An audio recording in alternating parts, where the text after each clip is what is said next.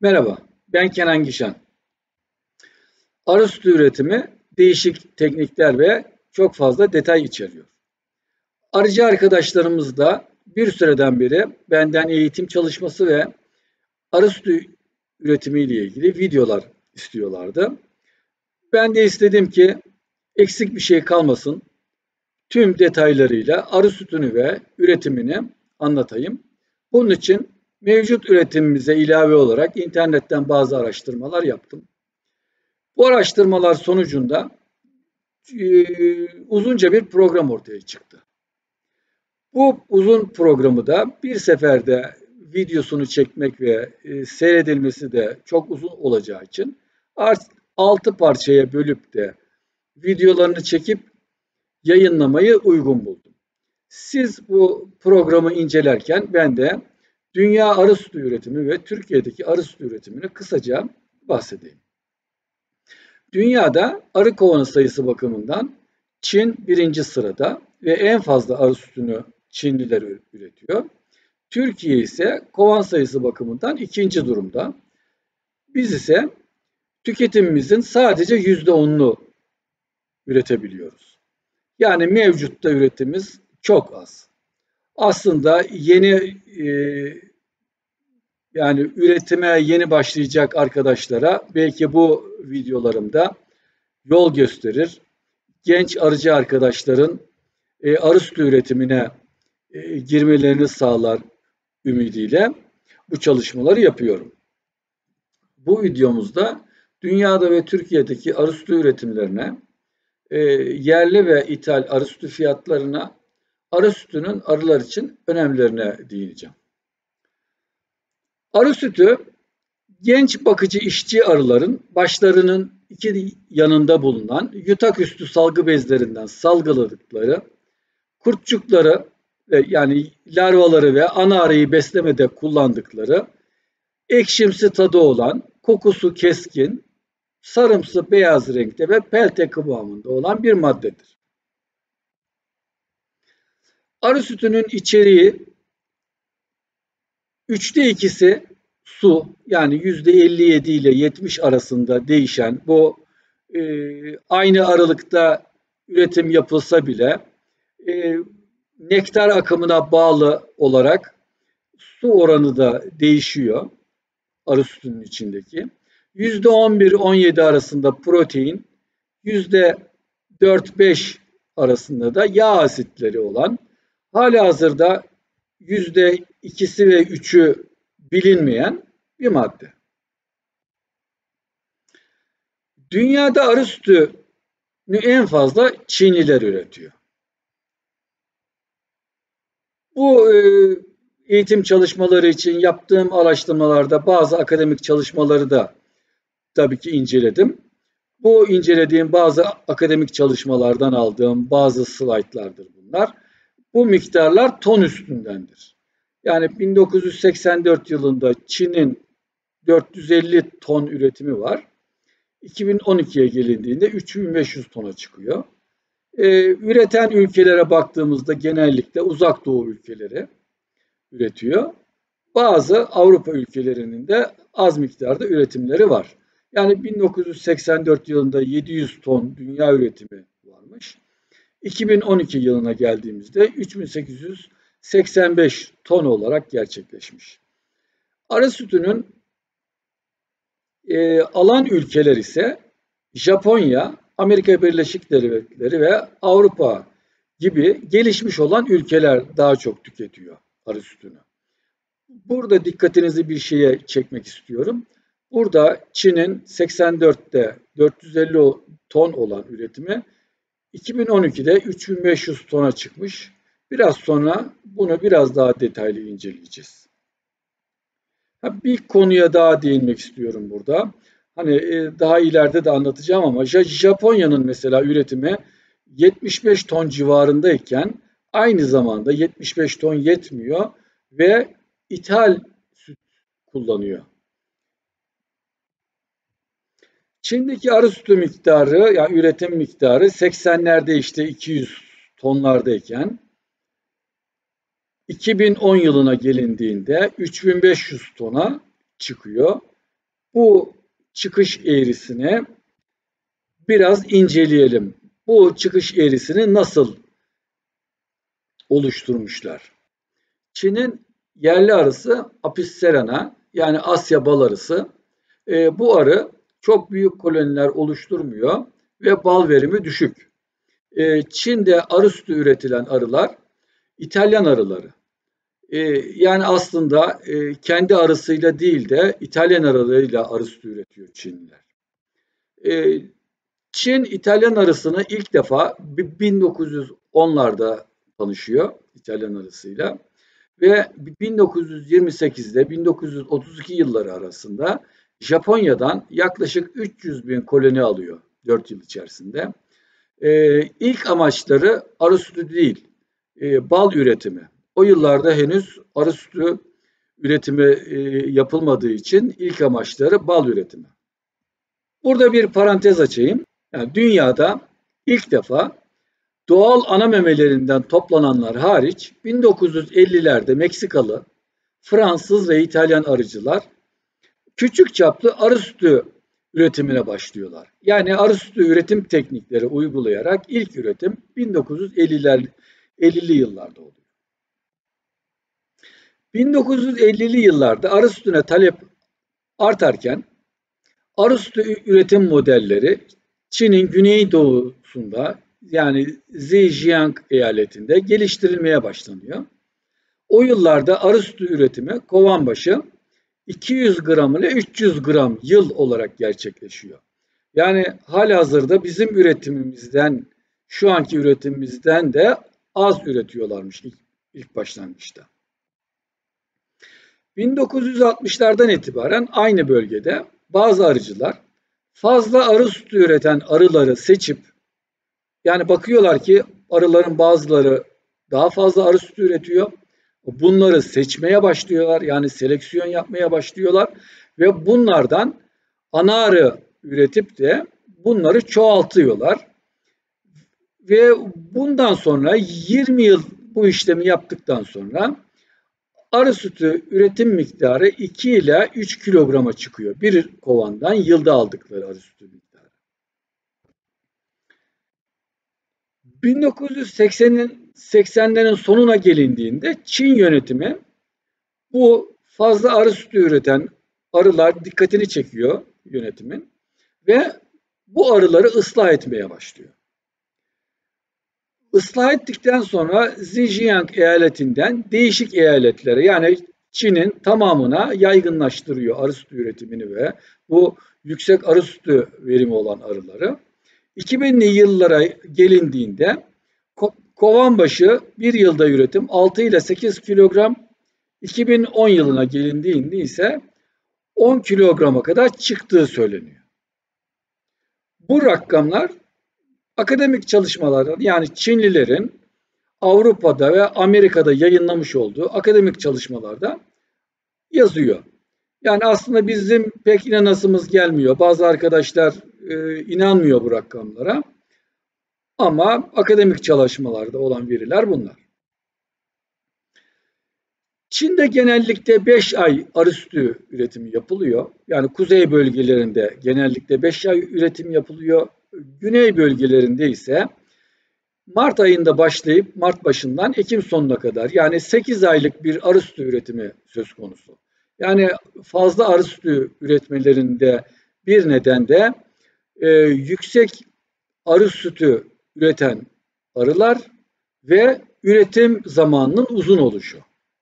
Tabii ki bu e, daha fazla arı sütü üreten arılara bazı makalelerde e, HRJB denmiş, bazılarının da ise RJB denmiş. E, bunların İtalyan arılarıyla bu fazla arı sütü üreten arılarını elektron mikroskoplarında bu salgı bezlerini ölçüyorlar. Bu RJB denen arının arı sütü salgı bezlerinin çapının çok daha büyük olduğu ve İtalyan arılarına göre 5 kat daha fazla arı sütü üretme kapasitelerinin olduğunu anlıyorlar. İşte bir değişik çalışmadan daha bir slide bu.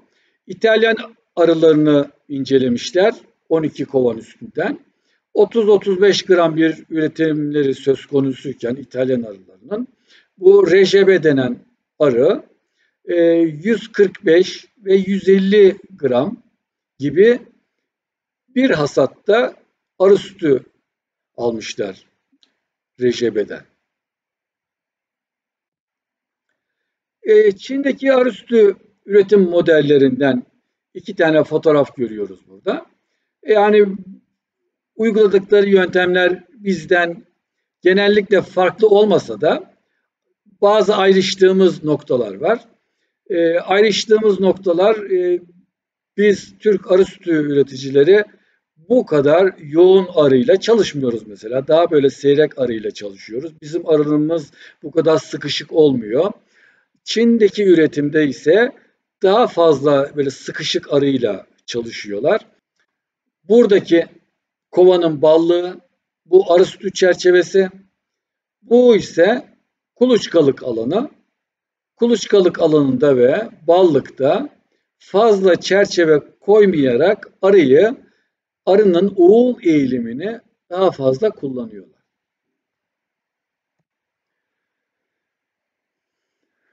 Bizim arı sütü üretimimiz ne kadar?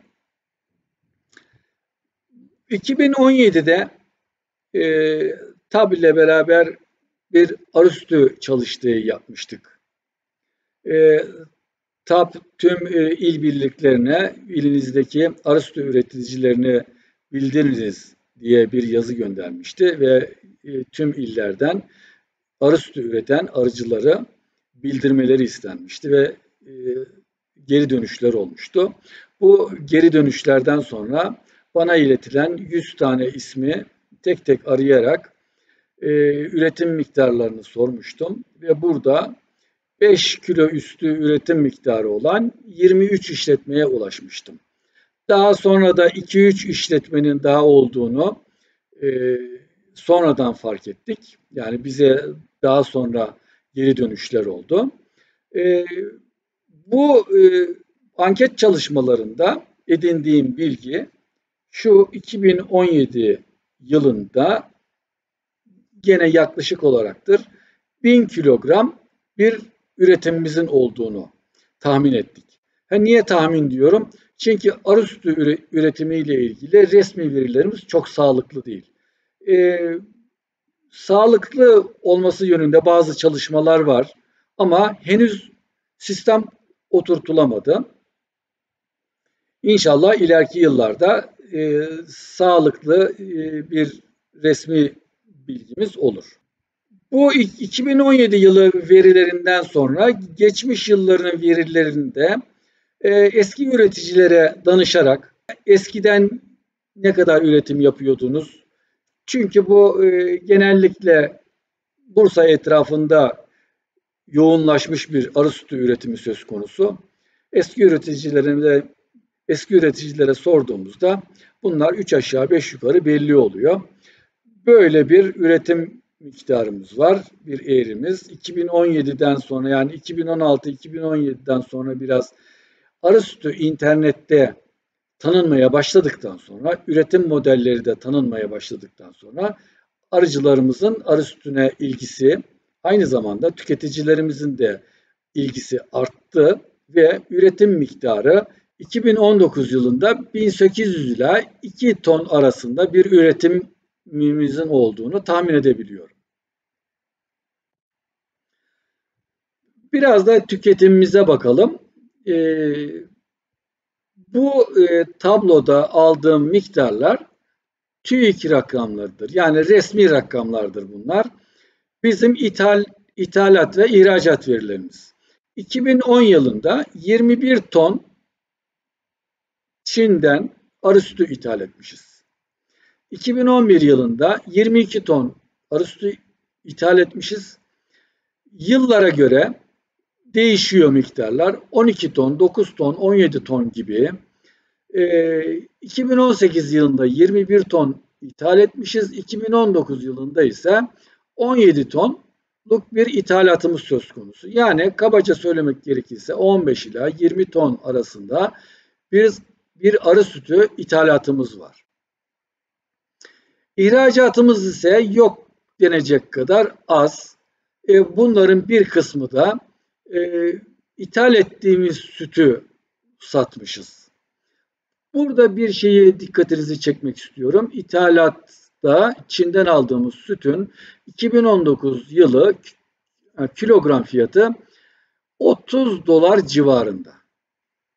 Arı sütü fiyatları ise dünyada e, biraz önce bahsetmiştim e, Çin'in üretim artışını 1984'lerden sonra yani 80'lerden sonra üretimleri artmaya başlıyor.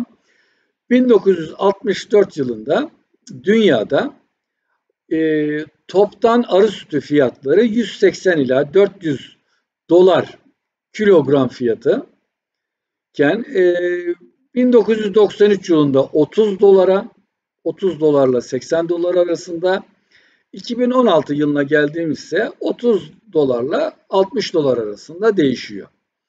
Yani e, dünyada üretim arttıkça arı sütü fiyatları düşüyor.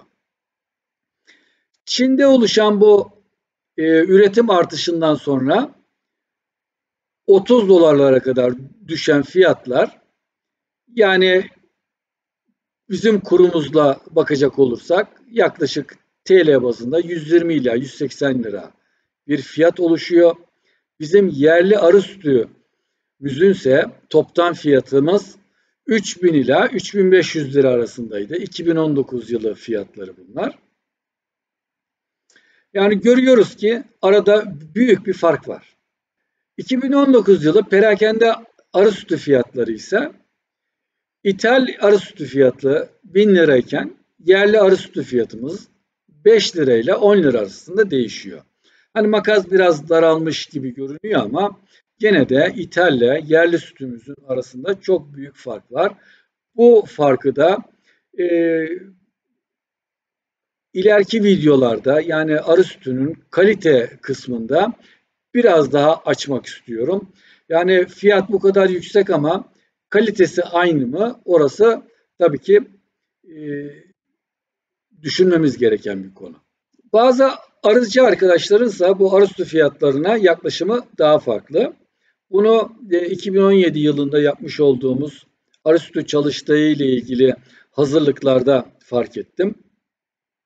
Bazı arı sütü üreticileri e, yarım kilo ile bir kilo arasında bir üretimleri söz konusu yıllık. E, bunu bunu üretenlerse genellikle ana arı üreticileri. İşte bunlar bu arkadaşlar çok zahmetli bir üretim modeli olduğunu ve üretiminin zor olduğunu zaten yarım kilo bir kilo gibi bir ürete, üretilebileceğini söylüyorlardı bize. Sadece bununla da yetinmiyorlardı. Piyasada 5 liraya olan arı sütüllerinin değişik arı sütü olduğunu da ima ettikleri zaman ben bu arkadaşlara üretim dönemimizde aralığımıza beklediğimizi, kendi gözlerinin önünde kovanlardan arı sütü çerçevelerini alabileceğimizi ve gözlerinin önünde arı sütü hasadını yapıp günlük miktar olan 700 veya 800 gramlık miktarı gözlerinin önünde tartıp paketleyip satabileceğimizi söylediğimizde e, nasıl olabilir diye düşünüyorlardı. O zaman belki kendilerinin üretemediğini, başkalarının bu arı sütünü daha fazla ürettiğini anlıyorlardı aslında. Yani bu 15 lira, 20 lira gibi rakamlar aslında bugünlerde satılabiliyor ama ileriki dönemlerde belki bu fiyatlarda da arı sütü satmak pek mümkün olmayacak. Çin bizim rakibimiz mi peki? Ben aslında günümüz için Çin'in e, rakibimiz olmadığını düşünüyorum. Niye? E, evet Çin'den bize her yıl 15 ila 20 ton arı sütü geliyor. E, ama genellikle piyasada biz e, ithal sütü görmüyoruz. Çoğunlukla yerli süt satılıyor. Tüketicimizin de şöyle bir e, eğilimi var. Tüketicimiz yerli arı sütünün kıymetini yeni yeni anlıyor ve üreticiden almayı tercih ediyor. Bunun için e, biz üreticiler önce arı sütünü tanımamız gerekiyor. Arı, arı sütünün arılar için önemini, arı sütünün insanlar için önemini, arı sütünün saklama koşullarını, üretim metotlarını falan önce bileceğiz. Önce arı sütünü tanıyacağız. Ondan sonra bu bilgilerimiz de donandıktan sonra tüketiciye arı sütünü tanıtmamız gerekiyor. Yani arı sütünü tanıyan tüketiciye faydasını gördükçe aslında bizim pazar payımız artıyor. Yani 2 ton olan yerli arı sütü pazarımızı e, biz 20 tona çıkartabilirsek önemli değil. Bir 20 tonda e, Çin'den belki gelecek ama bizim e, yerli arı sütü pazarımız 20 ton gibi bir rakama ulaşırsa toplamda arı sütü tüketimimiz 40 ton olur. Biraz önce Japonya'nın tüketiminden bahsetmiştim. 75 ton bir üretimleri vardı ama yetmiyor. Ee, değişik üreticilerden yani yurt dışından da arı sütünü ithal ediyor. Biz Japonlar kadar gelişmiş bir ülke olamasak da ama yavaş yavaş bu adımları atmamız gerekir. Yani bizim e, yeni arı sütüne başlayacak arkadaşlardan e, ricamız bu. Yani önce arı sütünü tanıyacaklar, sonra e, etrafına tanıtacaklar, perakende pazar paylarını oluşturacaklar ve yerli arı sütü pazarını arttırmak için çaba sarf etmeleri gerekiyor. Eğer ki bunu yapmayıp da biz üretelim, şunu bir toptancıya satalım diye düşünürlerse en büyük yanlışı yapmış olurlar. Bu yanlışı hem kendileri için hem mevcut arı sütü üreticilerine yapmış olurlar. Yani e, şöyle de bir, bir düşünelim. Bal pazarını düşünelim ve bal pazarındaki birkaç firmanın söz sahibi olmasını düşünelim. Yani arı sütünde bunu yapmayalım. Bizim tüketimcimizin e, saf, yerli e, ve güvenebileceği bir üreticiden arı sütü alma yönünde bir eğilimi var. Bunu kesinlikle göz ardı etmeyelim. Arı sütünün arılar için önemine biraz bakalım ki bu da e, tüketicimize aslında bu işçi arıyla ana arının beslenme farklılıklarından dolayı ne gibi değişimlere uğradığını tüketiciye anlatırsak tü tüketicini e, kendince bir çıkarımlar sağlıyor. E, bunu iyi bilelim. E, işçi arı da dişi cinsiyetli, ana arı da dişi cinsiyetli. E, üç gün larvalık döneminde üç gün az arı sütüyle beslenen işçi arının gelişmemiş yumurtalıklara yumurtalıkları oluyor ve ömrü boyunca bal ve polenle besleniyor. Yaşamı 6 hafta çalıştığı dönem 6 hafta yaşıyor ve kovanın tüm işlerini yapıyor. Ee, anari ise larvalık döneminde 5 gün yoğun arı sütü ile besleniyor. Yani işçi arıdan çok daha fazla. Ee, gelişmiş yumurtalıklara sahip olarak doğuyor. Arı, yani ömrü boyunca devamlı olarak arı sütüyle besleniyor. 5 yıl kadar yaşıyor. Sadece yumurtlama görevi var. E, şunu da e, dikkatinizi çekmek istiyorum. E, bir günde kendi ağırlığının yaklaşık iki katı ağırlık kadar yumurta atma kapasitesine sahip ana arı. İşçi arılar arı sütünü başında bulunan salgı bezlerinden üretiyorlar. Bunun için de bal ve polen yemeleri gerekiyor. E, bal polen yedikten sonra ürettikleri arı sütünü işte ana arıyı besliyorlar ve larvaları besliyorlar kovanda. Arı sütü üreticisi arı sütü üretim teknikleri kullanan üreticidir. Ee, ana arı üreticileri de tabii ki arı sütü e, alabilir, arı sütü üretebilir ama e, bizim için önemli olan arı sütü teknikleri uygulanarak bir üretim modelidir. Yani e, bizim hedefimiz 3-5 kiloluk bir üretim değil de 50 kilo, 100 kiloluk bir üretim e, göz önünde bulundurduğumuz zaman e, arı sütü üreticisi aslında e, arı sütü üretim teknikleri uygulayan bir üreticidir. Arı sütünü her aracı üretebilir mi? Arı sütünü ya tabii ki isteriz ki her aracı üretebilsin ama maalesef ki her arıcının üretebilmesi mümkün değil. Arı sütü üretimi üst düzey arıcılık teknikleri gerektirdiği için e, işte arıcılık tecrübesi gerekir ve disiplinli bir çalışma gerekir. Eğer ki disiplinli çalışma becerisi yoksa bir arıcıda maalesef ki arı sütü üretimi yapması pek mümkün olmaz. Ya da çok verimsiz olarak yapar. Arı sütünü kim üretir? Biz arıcılar e, aslında deriz, e, yani arı sütü üretimi yapıyoruz, ya şu kadar üretimimiz var falan deriz ama esasında bildiğimiz gibi arı sütünü arılar üretiyor.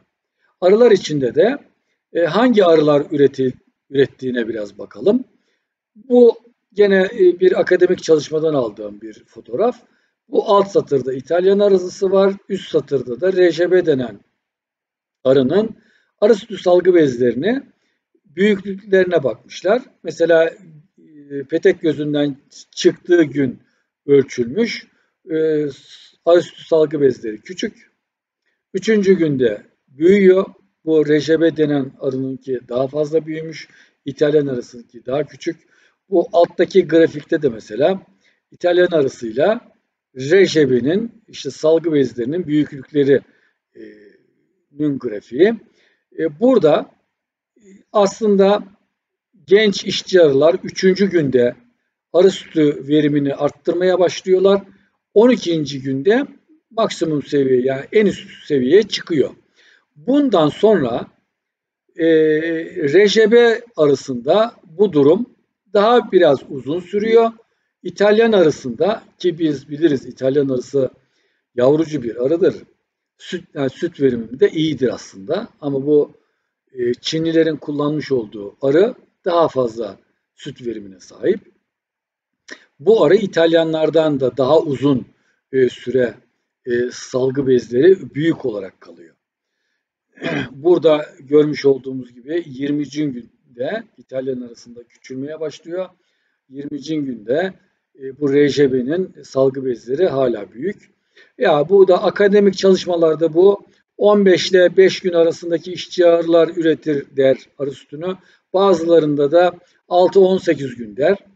E, genellikle bunlardan yani gün olarak bunlardan bahsedilir. E, peki biz biliyoruz işçi arılar e, tarlacı olmadan önce kapı önüne çıkıyorlar. Ondan sonra da 21 gün sonra da tarlacı oluyorlar. Bu süreçten sonra e, salgı bezleri peki köreliyor mu? Büyük bir ölçüde e, tam köreliyor denmese de büyük bir ölçüde küçülüyor.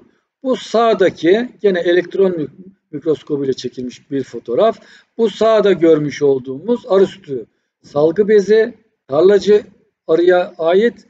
Soldaki ise işte e, genç işçi arıya ait. Yani iki salgı bezinin de büyüklükleri e, tahmin edebileceğimiz gibi yani verim düzeyini de aşağı yukarı tahmin edebiliriz ki tarlacı arı da çok az.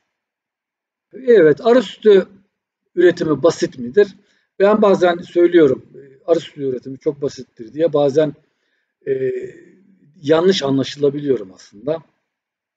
Niye? e, aslında o kadar çok detay içeriyor ki aslında basit değil. Ama biz e, aynı işleri her gün devamlı olarak tekrar tekrar yaptığımız için e, yani biz bir araba kullanmak gibi düşünebiliriz aslında bunu. Arabayı ilk kullanırken işte vites değiştirmeyi, bir ayağımızı debriyaja basarken öbür ayağımızı gazdan çekmeyi falan böyle e, sürücü biraz tedirgindir. Onu mu yapayım, bunu mu yapayım diye eli ayağına karışabilir. İlk başlangıçta arı sütü üreticisi de böyledir. Ama zaman geçtikçe şimdi e, usta bir sürücüyü düşünürsek yani o e, gaza, frene veya e, debriyaja ne zaman basacağını bilir, viteslerin yerlerini bilir. Hiçbir e, şaşırma falan olmaz. Onlar el ve ayak kendi kendiliğine gider. Arı sütü üretimi de buna benzetebiliriz aslında. Her işi aynı şekilde aynı gün yaptığımız için biz de bu üretim şeklini benimsiyoruz. zamanla bize çok basit geliyor. Onun için e, yeni başlayanlar evet biraz tedirgin olacaklardır tabii ama zamanla geçecektir bu. Yalnız şöyle e, şu kadar basit de görmeyelim. E, transferi yap bir gün başlatıcı, iki günde bitirici de e, tutalım. Üçüncü günü hasat şeklinde de çok böyle basite yani indirgemek de doğru değil. Çok fazla detay içeriyor. Detaylı teknikler uygulamak gerekiyor ama uzun süre yapıldığında evet üretim modeli e, meşakkatlidir ama basit gelecektir size. Arı sütü ve üretimi ile ilgili birinci videomuzu burada tamamladık. İkinci videomuzda buluşmak üzere. Hoşçakalın.